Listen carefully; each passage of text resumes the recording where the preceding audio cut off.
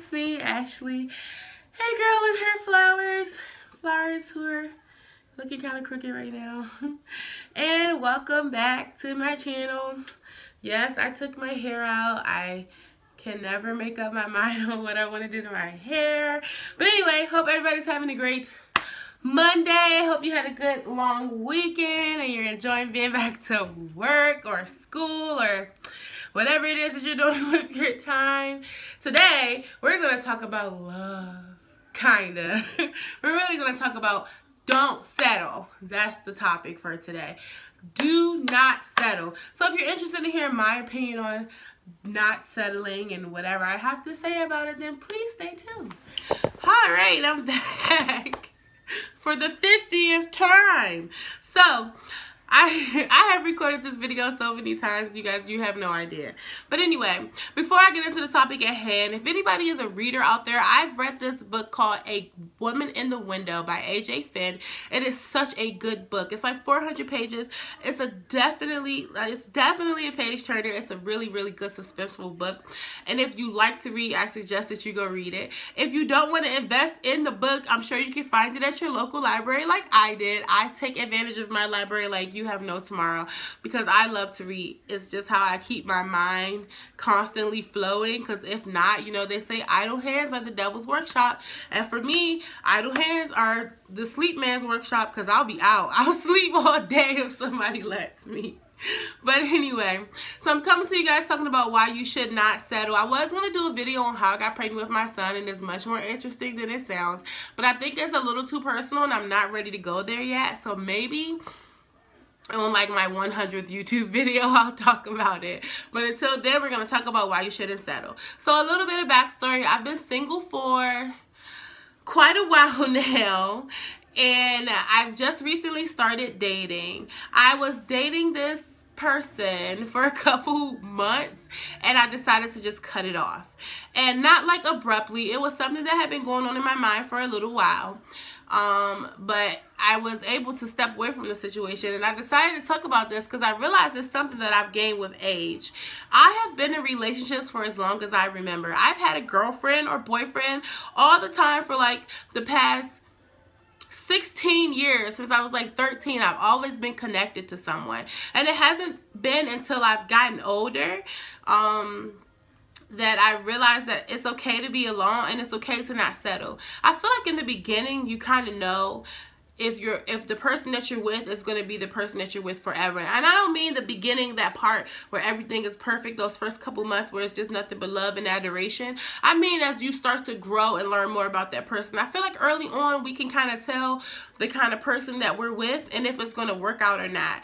And in that point i feel like you should know that it's okay to walk away. And even if you've you know if anything you've gained a friend and if not you've learned a lesson and that is that this is not the type of person that you want to be with. So this has been something that has become more easy for me to do because before I would just stick around. My last relationship was a horrible relationship. And in the beginning, I knew that it wasn't going to work out. But because I didn't want to be alone, I stayed. And because I didn't want to you know, start over again. I just thought, well, you know, I'm already in this situation. I'll just stick it out. I don't want to start over.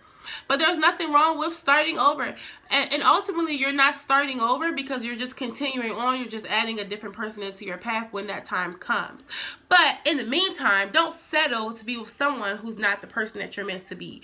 And I believe that there truly is someone out there for everyone. I know that the person that I'm meant to be with is out there. And the people that I've been dating or that I've dated, they just aren't that person and that's okay.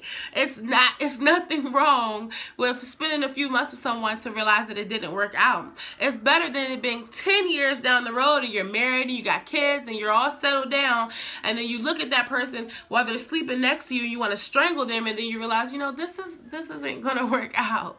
And those 10 years of your life you can't get back. You can recover from a few months. It's much harder to recover from a decade. So don't settle. And i don't mean and i don't just mean that in relationships i mean that in everything. Strive for the absolute best.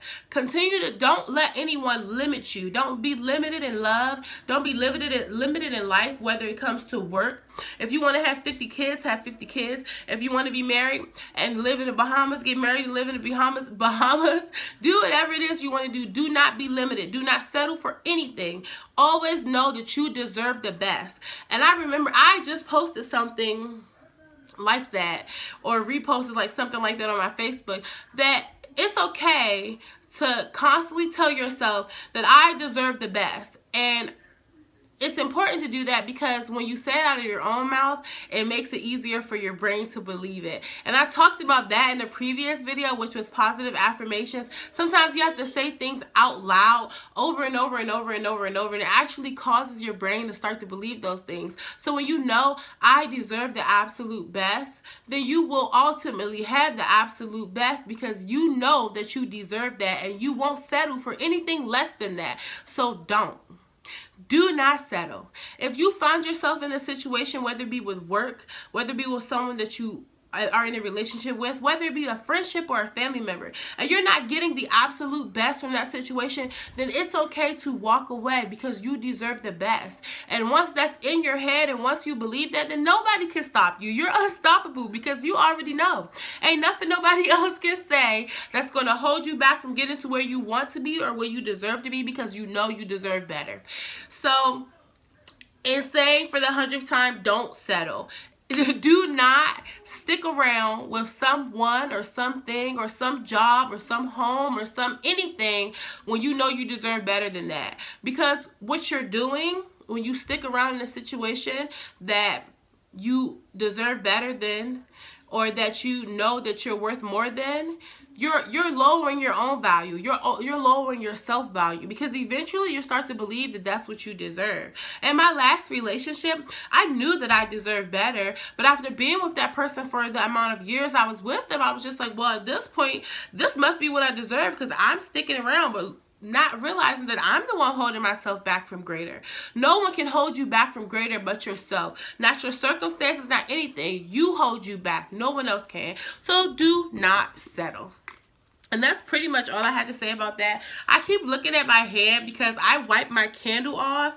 And I don't know, you know, if you guys ever like lit a candle and then the glass on the outside gets kind of like burnt from the flame and I wiped it off with my thumb. So I have this like black stuff for my thumb.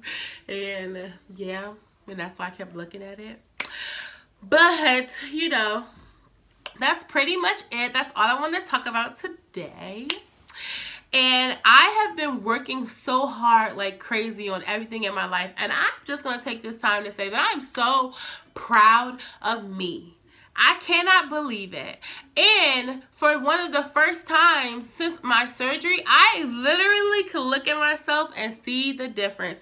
I took the time to scroll back on some of my old videos earlier today and I was like, wow, I can definitely see the difference. So I'm going to post um, in my next video, I'll talk more about my weight loss. I'll try to get on a scale. I really, really avoid it. I really don't like to do it. But I'll talk about the scale and I'll talk about a little bit of what's been going on with my body post-op from the surgery because I'm not fully recovered to me. And I'll get into that a little bit. But, um, Ashton's probably not going to let me continue to record this video because I recorded it not during nap time. And he only, he limits my away time to like 10 minutes. And we're getting real close to 10 minutes. So I'm going to have to go ahead and end this video. But like I said, read the book, um, a, a Woman in the Window. Yeah. Don't settle. And you deserve everything great in this world and don't let nobody tell you otherwise. And don't forget to like, comment, share, and subscribe. And until next time.